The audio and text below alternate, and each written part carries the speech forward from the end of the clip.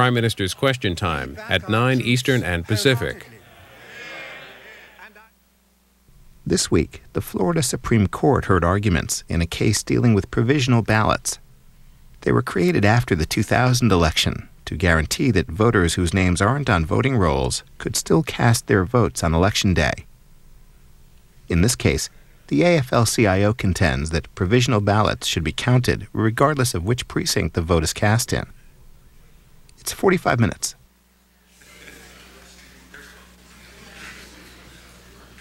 Please rise. Hear ye, hear ye, hear ye. The Supreme Court of the great state of Florida is now in session. All who have cause to plead, draw near, give attention, and you shall be heard. God save these United States, the great state of Florida, and this honorable court.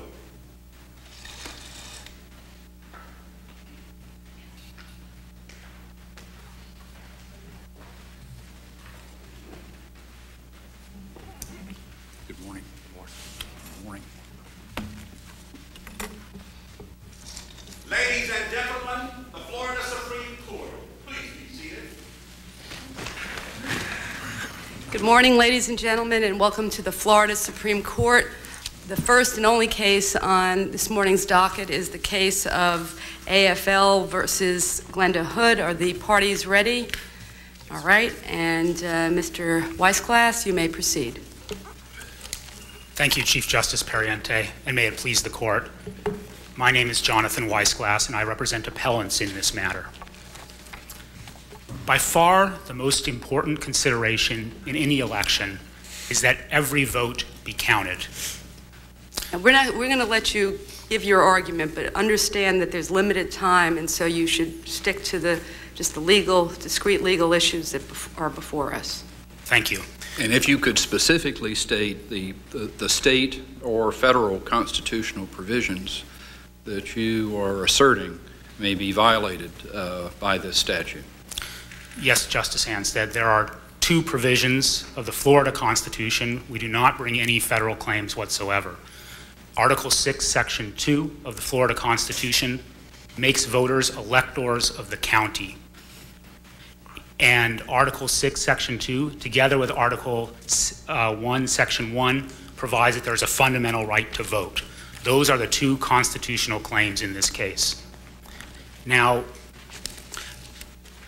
after the 2000 election, the state legislature enacted a provisional ballot statute. And the reason they did so was because it was undisputed that countless people had appeared at the polls and their names weren't on the list. I take it prior to uh, the enactment of this statute, there was no uh, provision in the election laws of Florida for a provisional ballot. That is correct. Okay, and there wasn't any constitutional problem with that. Well, what, what actually the Constitution requires There, that there well, be. was there a constitutional problem? Yes, the Constitution requires. Had this court ever been, It had it ever been raised with this court No, that that- there was a constitutional problem with not having a provisional ballot? It had not been raised. This is the first case that I know of that raises the issue of the problem when someone appears at a precinct to which they were not assigned and is not allowed to vote, even though they are, under the Constitution, an elector of the county, and under the Constitution, they have a fundamental right to vote. It's, it's very important to understand that the, the Article 6, Section 2 sets forth the exclusive qualifications for voting. So your, is your position that this is a qualification, not a reasonable time, place, manner restriction, is that correct? Our, our position is that actually, uh, yes, but it's irrelevant. Okay, if it's a qualification, then would it not only apply to provisional ballots, but to every ballot? That is, that is correct. That's why it's, it's unconstitutional to not allow voters to vote um, based on the precinct at which they show up, because voters are electors of the county. Okay, but, That- but let me go back to where I started from. Is it your position that there is a constitutional right to have a provisional ballot? Yes, our position. So we've been uh, up until the year 2000, all of the elections were unconstitutional because there was no provision in the election law for a provisional ballot. Is Yes. that your position? Yes, there must be a provisional ballot or some similar mechanism to ensure that voters have their votes counted as electors of the county. Would you agree, though, that the very uh, reason that the state enacted this statute after the Federal Help America Vote Act was to, res- to solve a very discrete problem that appeared in the 2000 election? Yes, and that, I And think. what it- was that problem? The, the problem was that voters, it, it was undisputed, as I said, that voters showed up at precincts, their names were not on the list. Um, people, the poll workers on some, in some instances, when they tried to call into the central canvassing board, couldn't get through. It was unclear where voters were supposed to vote, and countless people were disenfranchised. That- mistakenly, right? Mistakenly. That is, that they were uh, actually registered at the particular precinct, uh, but through the confusion or negligence or whatever, that those registered at those precincts uh, were mistakenly not allowed to have their, their ballots uh, cast. Is that correct? Exactly. That, that was sort of the background for, at least on its face, this uh, statute really has expanded voting rights, has it not? Because it's provided for something.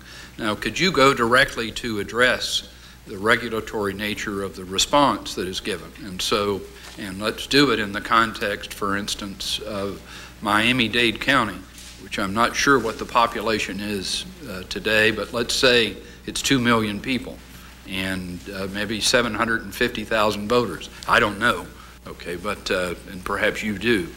But uh, wouldn't it uh, create uh, potential chaos and actually negatively impact the right of all to vote if there was simply a, an unregulated free right to show up at any polling place and, and vote? And that is that, uh, uh, and, and of course, the, the worst case scenario is if all 750,000 showed up at one precinct and obviously, they would not, uh, under the other regulations we have, uh, which allow voting from 7 a.m. to 7 p.m. or whatever. So would you address that head on? That, uh, that is, that uh, certainly uh, there, there is even an express uh, constitutional provision in Florida's Constitution that, that, that uh, mandates regulation. So would you address that head on under the, uh, the scenario that I gave you? Yes. There's, there is, it absolutely is not going to create chaos. Virtually no one is going to purposefully vote a provisional ballot when they are given the correct information, as sometimes doesn't happen, when they haven't been dislocated by a hurricane, as has happened, when they know where they're supposed to vote and everything runs as the election officials are supposed to make it run, people aren't going to willy-nilly run out and cast a provisional ballot for the sake of doing so. They're going to Oh, cast why? But but you say they won't do it willy-nilly. But in fact, why should a person who doesn't know either through the neglect of the um, elections officials or for whatever reason, maybe they've moved and the notice didn't catch up with them, why should they have an opportunity that someone else does not have who's casting a vote? We all know that on election day, you have to go to your precinct. And you're not arguing that that's anything wrong with that, are you? There's nothing wrong with someone showing up at their precinct. That's how uh, most people are going to do it because that's what they're used to. Because if you don't, if you don't show up at the place, um, you run a risk of not having your vote counted. But you, you are arguing that there is something wrong with that. That There's- is that the, that the, uh, the the legislature cannot limit voting to particular precincts. There's That- nothing wrong with setting it up as a matter of convenience for all concerned, but there can't, there has to be a safety valve in case there are problems that are not the fault of the voter, but are the fault of election officials. Everyone's human. Well, in are- this, in this day of computers, is it possible to go to a precinct and they tell you you're not on the roll, and for the precinct workers to then, through computer or whatever, determine what precinct you're supposed to go to? It is possible, but what the record shows is that some poll workers will not do that, and that even if they do, they won't be able, in some cases, to get through to the people who can tell them based on the computer rolls. This is a where- facial challenge to the statute, correct? We're not in an as-applied mode. That is, that is correct. All right, because you mentioned the record, and really, we're here because the judge dismissed the complaint after finding, as a matter of law, there was no constitutional issue. Is that right? That is correct. We also submitted evidence in support of a temporary injunction, and when I refer to the record, that's what I'm talking Well, about. there- but there was no transcript that we have to look at. Uh, There, there is a, there is affidavits in the record that we submitted to the court. But there's Uh, no, we have no record, written transcript. There is no um, hearing transcript, but there is a a compilation of the evidence we submitted in support. Uh, My question uh, that follows what we're talking about here, which is, let's just assume that there is a problem with this statute vis-à-vis the Florida Constitution. You mentioned that there is no federal constitutional problem with what the state of Florida has done, which is essentially, since its beginning, has based the right to vote on a precinct-based concept as opposed to just showing up anywhere. That, that's, We- We do not bring a federal claim. all right. But with that, uh, and it's uh, looming there, it's mentioned in a footnote in your brief, is that if the legislature passes this, and this you say is a qualifications for uh, electors rather than a reasonable time, place restriction, if we were to declare this, sta- this statute unconstitutional under the Florida Constitution, wouldn't we come right up against a Bush v. Gore situation? That is, that the legislature has been given plenary power to determine the type of election that we will have in the state for president. No. First of all, uh, Bush v. Gore, the Article 2 section, uh, the Article 2 issue that was raised was a three-judge plurality opinion. It is, it is not binding on this court, and this court needs to decide for itself the scope of Article 2. What the court, re- what this court recently said in the Nader case was that uh, Article 2 has to deal with, with, with cons- courts that when they construe statutes. This is not a statutory construction case. The statute is ambiguous. This is a case Well, about constitutional limitations on what the legislature does. However, in, in Gore v. Harris, the, the, the United States Supreme Court made it clear in, in sending back to this court the fact that the legislature had plenary power in setting up the method by which electors are, are uh, voted upon uh, for the United States presidency. Isn't that correct? Wh- wh- What, what, what, that case said is that, is they sent it back to this court, but they did not say what would happen in the event the- that this court held a statute that the legislature passed unconstitutional. That's the situation here. And what McPherson says, McPherson v. Blacker, which is an, an old case, um, expressly says that the legislative power is limited by the state constitution. That's the situation here. It would be um, a, a- a ridiculous situation if the legislature was not so bound. For instance, they wouldn't be bound by the single subject uh, constitutional provision of this state when they passed generally applicable election laws. How, how do you distinguish uh, this regulation from, say, a time regulation that does exist? Uh, And that is that, in realizing obviously that it's factually different in terms of qualifications, but nevertheless, in terms of acknowledging that the legislature has authority, plenary authority for regulation of some kind, uh, how's it any different really from saying, uh, we're going to provide this limited 12-hour period uh, which obviously is an impairment of this uh, very, very fundamental uh, right to vote, right to have your, your vote uh, counted. How's, how's it really any different from saying, uh-uh, if you show up after 7 o'clock in the evening, even though you got all, uh, and you're at the right precinct, uh, we, we are not going to count uh, you know, and allow you to vote and count your vote. How's it really any different? This is very important. There are two reasons, one for each of the constitutional uh, claims we bring. Um, the first, with respect to the, the qualifications clause, it's very important. The, the, the, the, the residency requirement is set forth in the Constitution, and that means that the legislature can't modify it. It would be the same thing if the Constitution said that polls must close at 7, and the legislature passed a statute that said polls will close at 6 it would be exactly the same situation we have here. Even though that is a time, place, or manner restriction, seemingly, the legislature can't do it because it's in the Constitution. With respect to the second claim dealing with the fundamental right to vote, this is very different because than, than, a, than a, poll closing st- uh, statute. Because what this is going to do is it is going to actually disenfranchise voters who are given incorrect information or who, through circumstances beyond their control, such as a hurricane, go to the polls and the polling place has moved. Let me How ask you, we- let me ask you, Just- Justice Quince.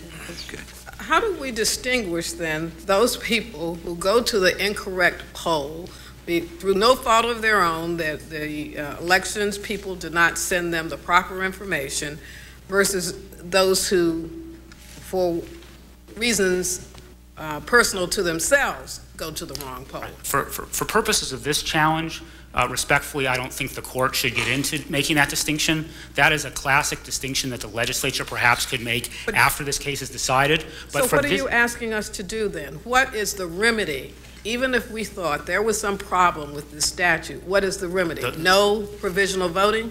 No, no the, the remedy is to keep most of the provisional ballot statute, which is perfectly fine, in place, but to make sure that the problem is the provisional ballot statute doesn't go far enough. To make sure that voters who show up are given a provisional ballot if their name is not on Which- the list, and which then the ballot? county Which ballot? They are given the ballot at the Which precinct, ballot? at the precinct they show up, and the county canvassing board then decides if that voter is eligible to vote, then that voter should have his or her vote counted. but, but And Mr. Cowles makes the point, which seems to me to be an abundance of common sense, that in uh, where we are voting now, like uh, if I go to the courthouse to early vote, it takes about five minutes to get my correct ballot because I've got the the town that I live in, they've got people on the ballot. I've got a single subject, uh, single district member of the House of Representatives on my ballot, which is not true if I go to a precinct across Orange County Right, over the way- in, the in way- Union Park. the, the way it works is, as, as it happens in Georgia, which runs a perfectly constitutional system, um, uh, the way it works is you don't count the, the, the votes for any race for which the voter was not eligible. I'd like to reserve the balance of my time. Thank you. Mr. Kise, now I understand that you're the 20 minutes you've graciously, you're taking 10. Uh, Mr. Lebrasky is, Leba- Labasky. Lebaski is taking five, and then Mr. Byrne is taking five. So I just ask you all, you'll see the red light go on to be mindful of your time. Yes, Your Honor, graciously. Uh, May I please the Court, Christopher Kise, Solicitor General, on behalf of Secretary Hood. The right to vote is not the right to vote at any time, in any place, in any manner that you wish. It is the right to participate in a process necessarily structured to protect the integrity of the system. And that's not what I say, that's what the United States Supreme Court says, and that's what this court has recognized. And voters have to take certain actions to exercise their franchise. Well, What let is- me what ask is- you, Go ahead, go ahead. Uh, my problem with, with this is we have had numerous hurricanes in this state. We have a thousand, I believe, more precincts than we used to have. Uh, a lot of people have left their homes because of these hurricanes and may not, may or may not get their mail forwarded. And so those are the kinds of problems that I see might uh, come up during this election. So how do we address those? And does this provisional ballot do anything to help those people? Your Honor, I think the provisional ballot does something to help those people, and I think you have to look at, and it's really the problem with their case as a whole. They want to take the 048 section and just look at that in isolation. You have to look at the statute 101 as a whole. In 001, there are provisions for providing notice and providing maps to people and specific instructions that the legislature has given to the supervisors and to the secretary about how we notify people. In, in point 71, there is a notice of address change of polling place. In point 733 and point 74, there are In emergency this short, provisions. I understand that, but in this short period of time, would, would a voter who goes to the wrong precinct be able to get information at that precinct that says you should be a block away at the other church or the other school? That's certainly the intent of the statute, that's the intent of the legislature, and that is the way the system is supposed to work. Can we guarantee it works in every single isolated circumstance? I don't know that any system can do that because, in fact, the, the system that they raise, that they point to, California and Georgia, what they ignore is, is that California and Georgia actually disenfranchise people on the down ballot races. Because if you look at what California and Georgia do, they give you a provisional ballot when you show up. They don't really make much of an attempt, it appears, to, to give someone instruction as to where to go. They say, well, you're not on the list here, so let's give you a provisional ballot. And then those vote, folks vote, and the canvassing board in those states goes back through that ballot and determines, well, if the, if the individual was eligible in that precinct, then we count all the votes. But if they're not eligible in that precinct, then we count only the votes to which they were entitled to, sort of the top of the ballot votes. And then those people are disenfranchised on their, under, under their scenario. But the two, the two ballot. problems, and again, I think we go from one extreme, which is to say that this whole election statute is based on the concept of voting in a precinct, yet we know we're in a computer age where we would think that every uh, precinct would have a computer and tell you exactly where you're supposed to go. The two situations, and it just follow, I just want to make sure, there really isn't a way that a voter who did not get notice because, again, of the hurricane and shows up at the wrong precinct in good faith, if a poll worker gives that voter a provisional ballot, that vote would not be counted. I mean, that's the way the statute works, right? It's only if they show up and they know they're at that precinct, but they're not on the list for some reason, that the provisional ballot statute applies. If, if they show up in the correct precinct and, and, and If- aren't on the list, if their name isn't on the list for whatever reason, So it's a very narrow situ, it's a narrow but important situation. The legislature has not addressed the situation where a poll worker mistakenly gives the, a ballot to somebody who should be in another precinct, or somebody just by- through no fault of their own does not know where their precinct is. Just so we understand the scope of this law, Well, correct? I, I think you're right, Your Honor, but, but I think what the legislature has done is they have, they have made a policy decision, and that's what this court's analysis is based on, and we're, we're looking at the reasonable relationship to what they've done, um, not on a strict scrutiny basis, but, but on, on just looking at that, whether this is a reasonable time, place, and manner restriction. And they've made the decision that, that the interest of avoiding problems, keeping order, uh, prohibiting fraud, uh, et cetera, that made the policy I decision- understand that issue, but what I'm asking, you're representing the Secretary of State. Pursuant to this and knowing what's happened already in the primary, where a lot of the provisional ballots were not counted, and where there were people that, uh, and again, some county canvassing boards apparently counted votes and others didn't. Has the Secretary of State done anything between the primary and today to ensure that those types of errors on poll, poll workers will, uh, to the extent humanly possible, not occur? In other words, has there, now knowing there's a problem, has there been some action that the Secretary of State has taken? I'm quite certain, as in all circumstances of elections, as we learn from problems that took place, just like as we learned in 2000 from the, the problems that took place, and the federal government and the state legislature addressed that by passing the provisional ballot statute. I'm certain the Secretary is making every effort, both in terms of responding to the emergency and working with the supervisors, as well as responding to the issues that are raised. Let, let me ask, uh, the, the, the, qu- the question I ask your opponent, and I'd like you to speak to at the outset, is the, the balance, the question here of the difference between whether this is a matter of legislative prerogative in regulating elections, or is the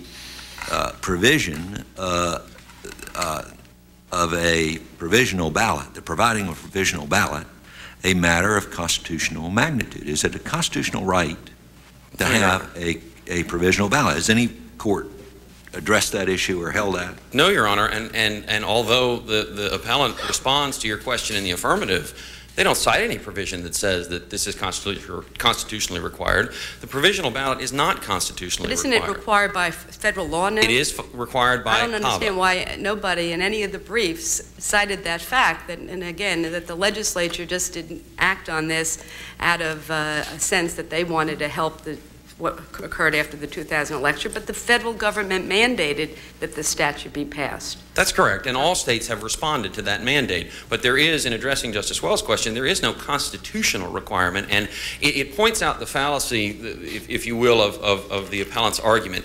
They want to separate in their brief the, the issue of the precinct system in general from the precinct-based system and the provisional ballot, and you just can't do it. I mean, there's no way to pull those apart because, as Justice Quince recognized in, in, in, in your question, there's no way to differentiate between people who show up at, at the precinct honestly mistaken or you know between those people and people who deliberately go to a precinct because it's easier. I mean, it's certainly easier for me to vote downtown somewhere here right next to my office than it is for me to vote out at Southwood. And it's uh, it's certainly easier for those who would intend to interfere with the election process to bring a busload of people to Southwood in a little tiny precinct with very few poll workers and and inundate them at seven o'clock in the morning with 500 people and make it impossible for folks in in that community to exercise the franchise. And we need only look back to the 40s 50s, and 60s, uh, in the 40s in the Talmadge election in, in Georgia, where you've seen that. You've seen people doing deliberate things like that, and the legislature has made the determination that it's not worth that risk, that the well, I think that, let's, in, in fairness, the precinct system came about in the 1800s, and there really isn't any reason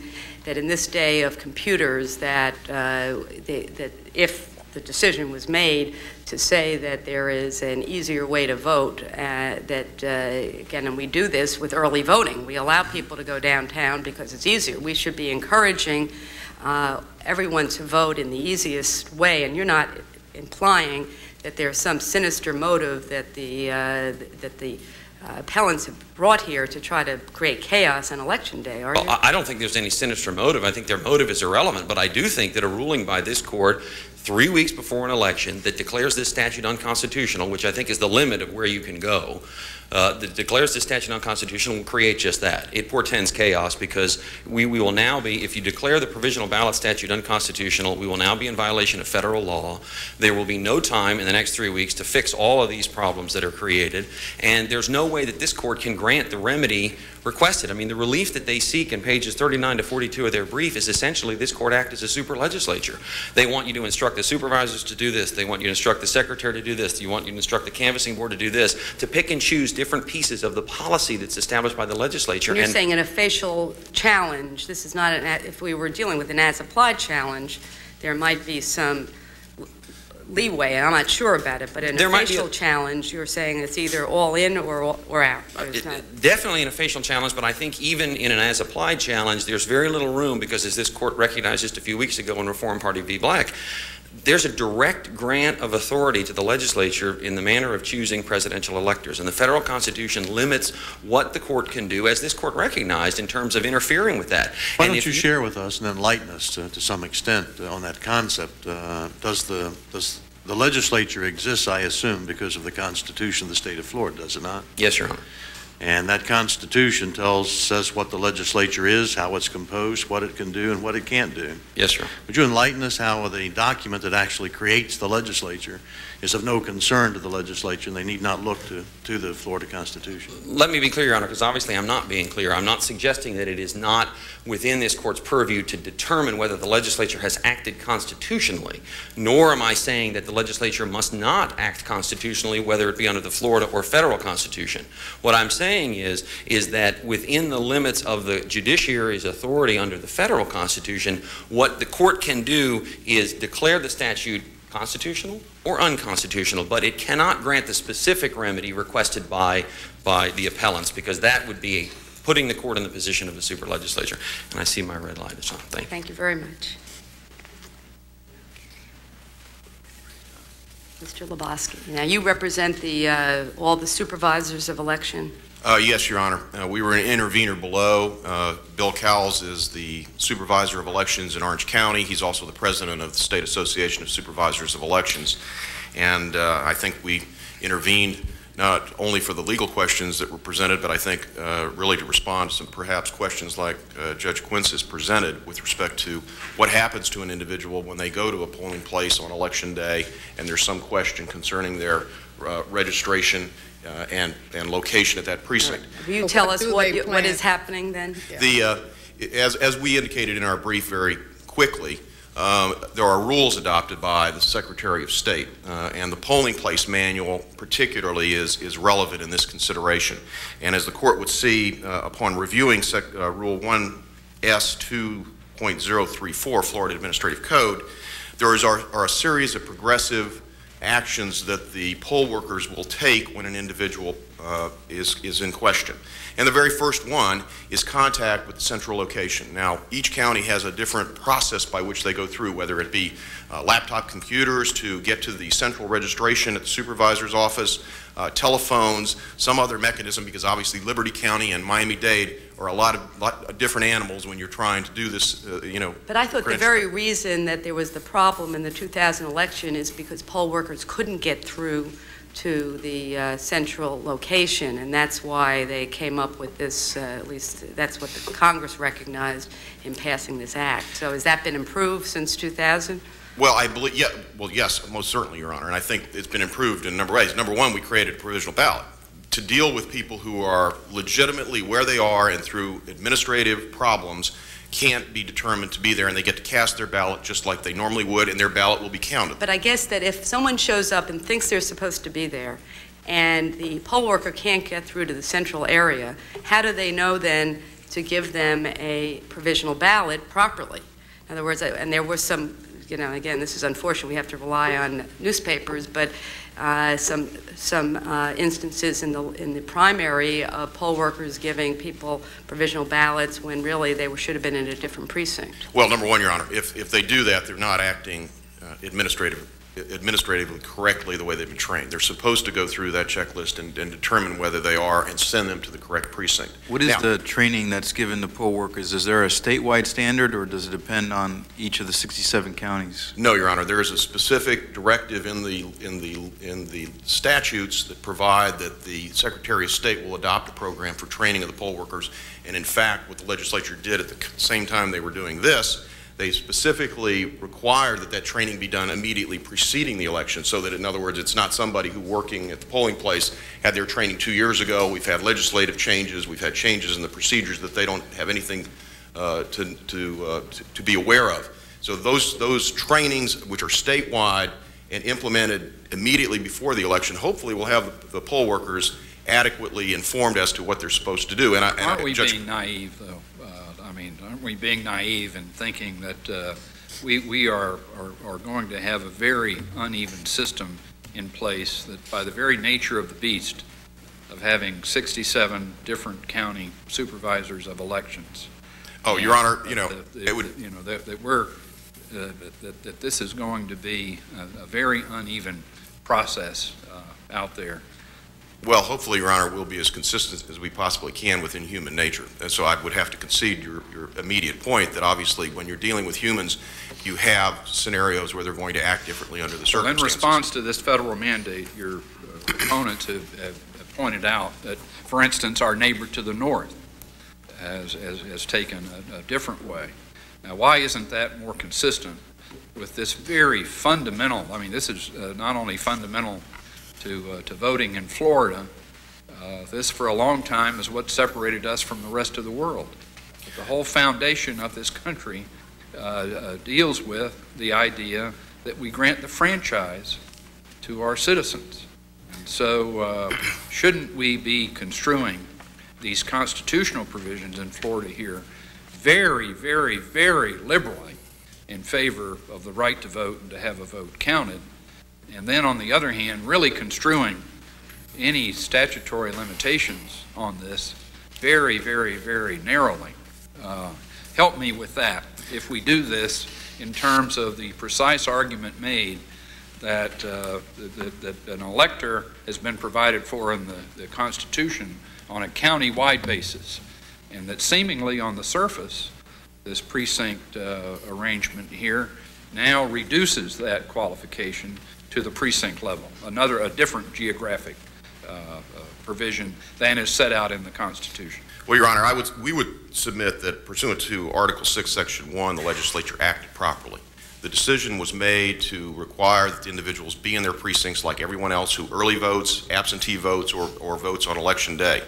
And uh, under Article 6, Section 1, in conjunction with Section 2 of Article 6. The legislature acted properly because the net result of this is convenience voting, and I think your question concerning what would happen in Miami-Dade County if everyone elected to go to the same precinct or just a, a number of precincts would be chaos on election day, particularly in this election right now because the ballots all, are all printed. There will not be enough to do what the plaintiffs would ask in a reasonable fashion without creating chaotic results, much less count the votes in time under the statutes. And I see my time is up. Thank you, Your Honor. Thank you very much. Mr. Byrne.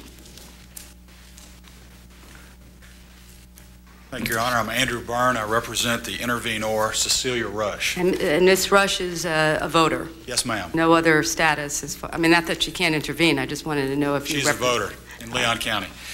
Uh, d- Directing my remarks to exactly the question that Justice Anstead and Justice Quince raised, and Justice Pariente, there is no question that when you're dealing with a facial challenge to a statute, that there very well might be fact-specific problems in the administration of that statute. But this challenge is to, on its face, whether precinct voting is per se unconstitutional. And the problem with the, with the, the concerns being raised is certainly the legislature should, should consider what could happen in fashioning a, a, a time, manner, and means of voting to take into account things that we can anticipate, such as hurricanes, such as voters who show up and are told incorrect information. But since we haven't, or this statute certainly doesn't address that, it seems to me that we're going to find ourselves with a number of people who have been disenfranchised because of the hurricane or um, having to move out of their houses and not getting information timely, and poll workers not being able to give them the correct information as to where they should be. And I would submit, Your Honor, that, that if we changed the system, we would have a different set of factual problems, such as if we did away with precinct voting, we might very well find ourselves with voters showing up and not being able to vote simply because logistically you can't accommodate 750,000 people. But how do you, I guess, I want to go back to the constitutional provision that's at issue, which is Article 6, Section 2, which does refer to electors being in the county of their registration. So just going back to the sort of the basic question that we're having to deal with, isn't the precinct requirement a, uh, a alteration of Article 6, Section 2, which only requires that electors be in the county uh, that they're registered in? Well, one deals with what are the characteristics of the voter that allows them to participate in the process. And another one is a time, manner, and means of voting. It's not unconstitutional to say to a voter, you have the right to vote in this county somewhere, but we are going to make it an orderly process and we're going to divide the voters up so that we have some voting in this precinct, some voting others. But we will provide you a place to vote in the county just like the Constitution provides. We're not talking about a situation where a voter from Leon County is told, you have to go to Palm Beach to vote. But are there some situations where we really have gotten to where, and again, you're saying we can't look as applied, where the precinct could be right next door or in the same building and the person doesn't know that and then mistakenly goes, I mean, so what we're talking about now with this number of precincts that we have, that uh, we're not talking about going from one end of the county to the other. It may be just an error in going from one block to another. Well, Your Honor, I, I suppose that there's a, a million things that we could come up with. Well, those are, I think, actual situations. I'm not, we're not looking at the, Well, in this record, things there's that not. happen actu- uh, excuse me? In this record, there's not such situations because we're dealing with a facial challenge, but, but you're right. There are a- myriad of situations that, that could come up, and that's why the legislature has the plenary power to devise the best system giving all considerations. Is precinct voting perfect? No. Neither would be non-precinct voting, and we would have a different, different set of problems. The, the problem is, under the federal constitution, this is exactly what, what the, the relief they seek is exactly what this court has ruled it cannot do, which is take out its blue pencil and come up with a better system that, that comports with uh, what the appellants would argue is a better way to do it. That is what the legislature, I see my time is up. Thank you. Thank you very much. All right. Rebuttal. Thank you. I have five points I want to make. The first is there's Five no. points in five minutes. Let's see if you get I'll, there. I'll make it. um, Good luck. Thank you. The first is that there's no question that a substantial number of voters are going to show up outside their assigned precinct due to hurricanes, due to election official error, or whatever.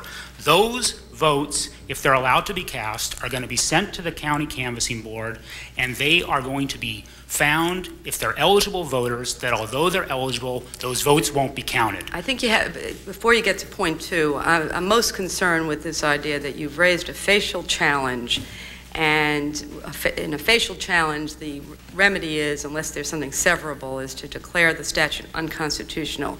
What you're asking this court to do is really, would be rewriting legislation, which we are unable to do in a situation where uh, it would be clearly different than what is now on the books. Could- Is that one of your five points about how we can do that? That was point five, but let me make it point two. Um, The, the court has, when, when, when faced with a temporary injunction request, which is one of the two issues that's before the court, temporary injunction, the court has the equitable discretion to fashion a remedy that makes sense in the context of the situation that's presented. The only thing that's equitable here is to ensure that every vote is counted. And you can do that, make this equitable uh, decision without declaring the statute unconstitutional? No, I think this, the statute will have to be declared unconstitutional, unconstitutional, and the equitable remedy, which is very easy, is to require that if someone shows up at a polling place and their name's not on the list, they get a ballot, a provisional ballot. Then the county canvassing board will determine if that voter was an eligible voter, and if so, that vote is counted. It's very simple. It's very Aren't close to what they back, do now. though, to the, the sort of chaos issue again? Headlines tomorrow, after we rule the way that you say, the Florida Supreme Court rules voters can vote at any precinct within their county. And uh, that's the message that is sent out.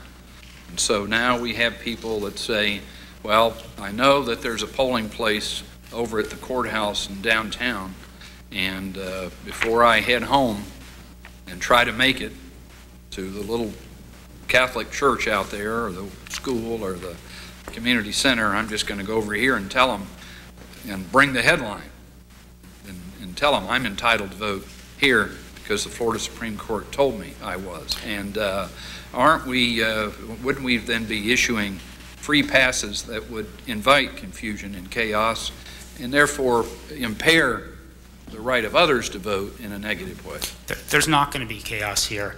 In, in, in, in, the, in the real world outside this court, people are not going to purposefully count a provisional ballot, forcing them to go through the hassle of filling out an affidavit, forcing them to deal with the fact that some of their, their, um, their votes may not be counted for the down ballot races. But aren't we coming now to the issue about as applied? That is, that what you're really saying is that if, that that people aren't going to do that, they're, they're only going to do it when truly they didn't know the right place to go, and it was because the hurricane changed the location, and now they, in good faith and based on everything they knew, showed up at the right place.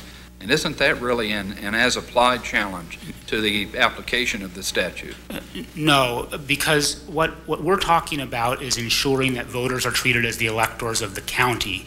Um, and that's a facial issue, a facial problem with this statute.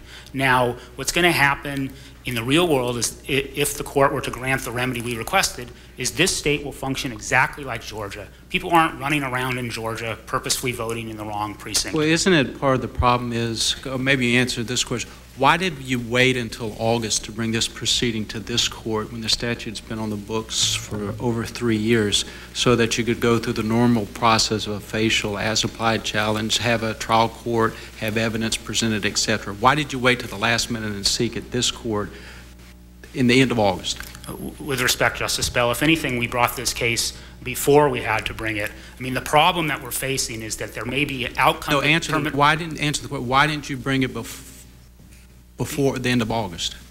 we- we brought it as, as soon as we were able, given the fact that we- what we're seeing is a substantial number of votes that, that may be sitting in county canvassing boards uncounted, that may be outcome determinative in an election. Well, why didn't we see that after the 2002 election?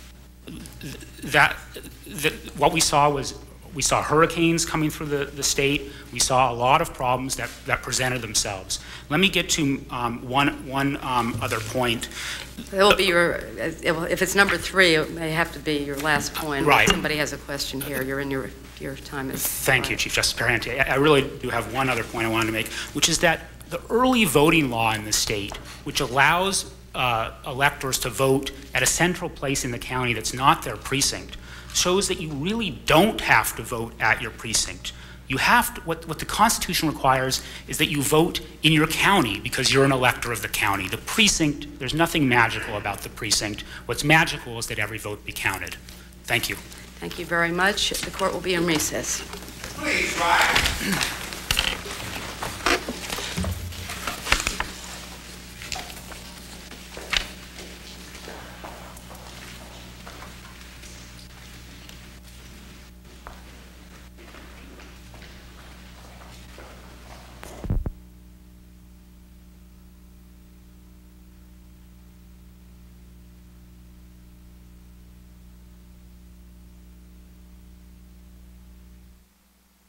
American Perspective Saturday The Art of Selling a Candidate.